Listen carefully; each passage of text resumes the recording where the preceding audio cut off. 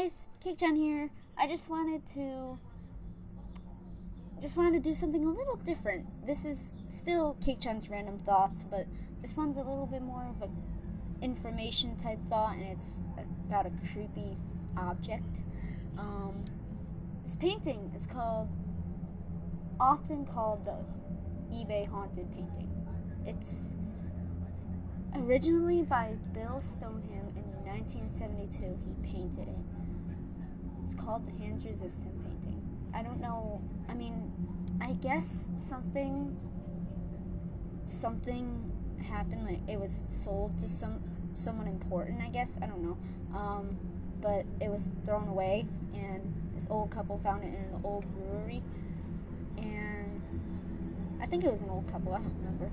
This couple found it in an old brewery, and ever since then there have been very creepy things happening around like if they were the, apparently their children would say that that the characters would altogether leave the painting and they would be standing at the foot of your bed.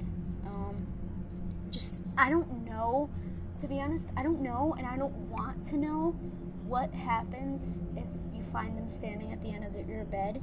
I don't know if um, they hurt you. I don't know if they just sit there and stare at you like you're someone that's completely just fucking weird.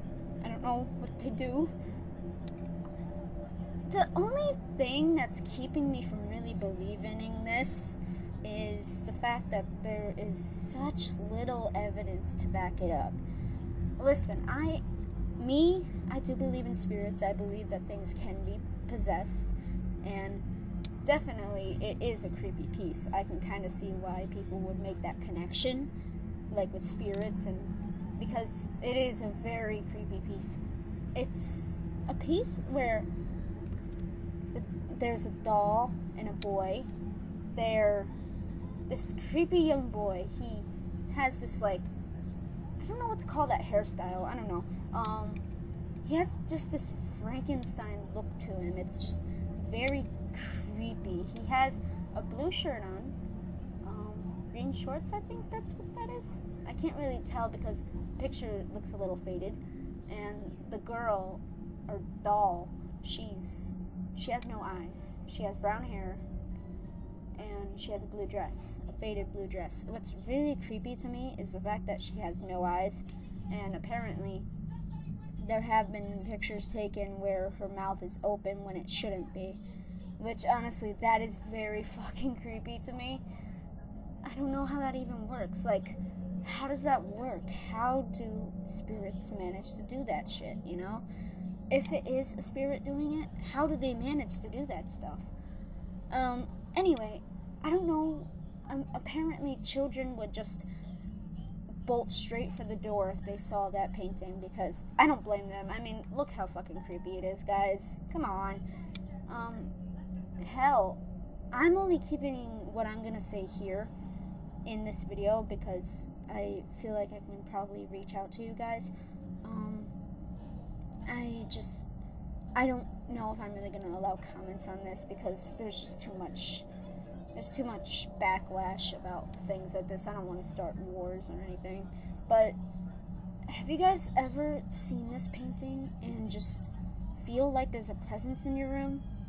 Yeah, for some reason, every time I look on it, like I look at it online, I feel like there's a presence in my room. It's just the creepiest thing, but I'm pretty sure it's just psychosomatic, and there's nothing to do with the painting. It's just I I get freaked out really easily if I see something like this.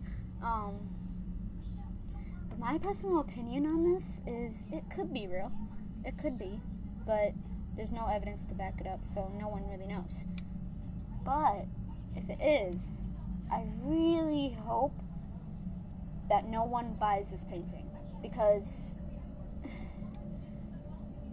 two things. One, it could be very bad to the artist if someone gets hurt.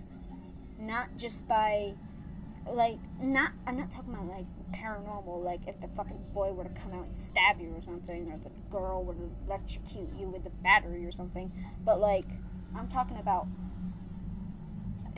like someone seeing that painting and ending up killing themselves or something. I don't know. Um, maybe I'm just getting too freaked out by this. Um, I just want to end this end this story here and say,